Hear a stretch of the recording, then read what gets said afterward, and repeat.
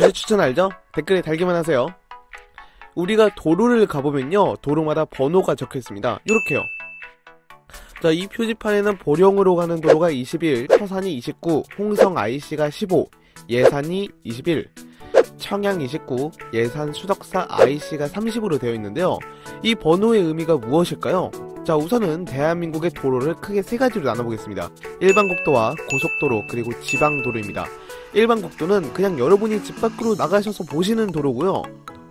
고속도로 앞에 집이 있진 않겠죠? 아, 어, 없겠지? 어. 고속도로는 여러분도 잘 아시다시피 100km로 쌩쌩 달리는 곳이 고속도로입니다. 지방도로는 좀 생소할 수 있습니다. 지방의 간선망 도로를 도 내에서 비행장, 항만, 철도역 같은 곳으로 상호 연결하는 도로입니다. 자 그렇다면 이 번호와 어, 이제 구분하는 법 이거 알려드릴 텐데요.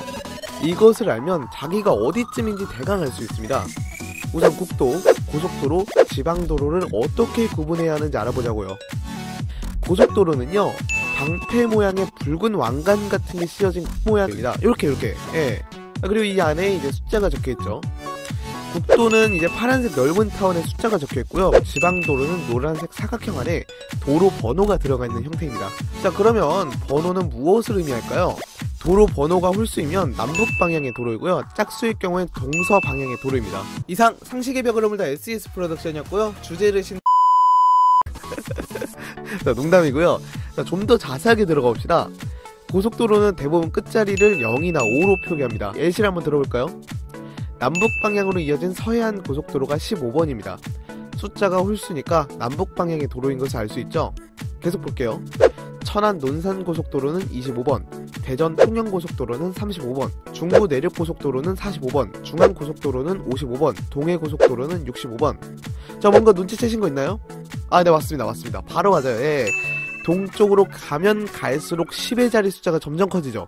자, 그러면 동서 방향인 짝수 고속도로도 그런지 한번 볼게요. 가장 남쪽에 있는 고속도로입니다. 남해 고속도로죠.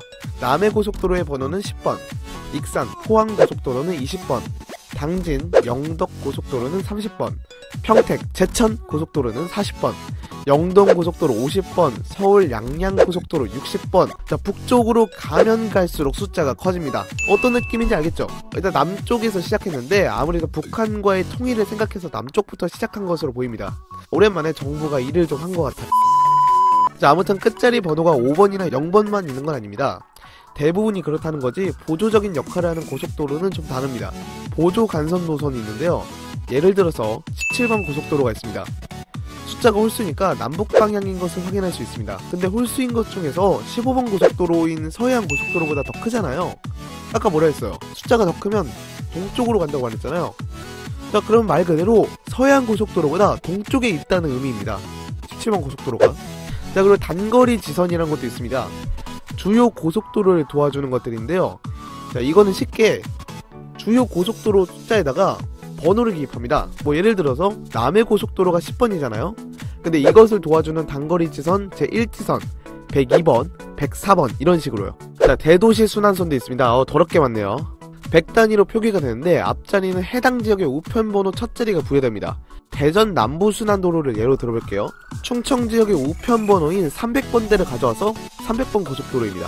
아, 고속도로 겨우 끝냈습니다. 그럼 이제 국도로 볼까요? 자, 아까도 말했듯이 국도는 표지판 내부 파란색 탕원 안에 하얀 글씨로 표기가 되어 있습니다.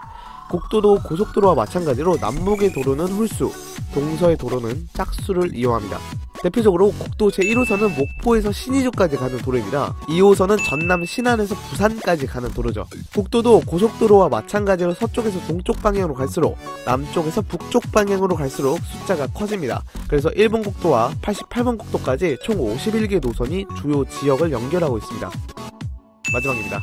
지방도로 노란색 사각형 안에 숫자가 표기된 지방도로는요 지방의 간선망 도로인데요 지방도로도 비슷한 도로번호 체계를 갖고 있습니다. 하지만 세 자리 이상 표기가 되어 있어서 좀 헷갈릴 수 있어요. 자, 지금부터 빨리 말할 테니까 잘 들으세요. 경기는 300번에서 399번, 강원도 400번에서 499번, 충북 500번에서 599번, 충남 600번에서 699번, 전북 700번에서 799번, 전남 800번에서 899번, 경북 900번에서 999번, 경남 1000번에서 1099번, 제주 1100번에서 1199번.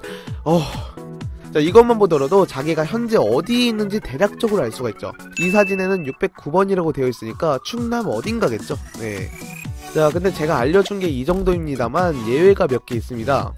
바로 경부고속도로인데요. 경부고속도로는 1번입니다. 다른 고속도로는 뭐 10번, 뭐 15번, 20번 이런 식인데 왜 경부고속도로만 1번일까요? 아, 바로 이제 상징성 때문에 그렇습니다. 경부고속도로는 단군 이래 가장 규모가 컸던 토목 사업이고 대한민국 두 번째 고속도로입니다. 한반도의 대동맥이고 대한민국의 산업화와 근대화를 이끌었던 상징이기 때문에 그 상징성을 인정해야 한다면 1번으로 지정한 것입니다. 아 물론 이제 내피셜이 절대 아니에요. 제가 방금 한 말은요 한국도로공사에서 한 말이에요. 자 그래서 이런 상징성 때문에 1번으로 하기로 결정이 됐습니다. 자 어때요?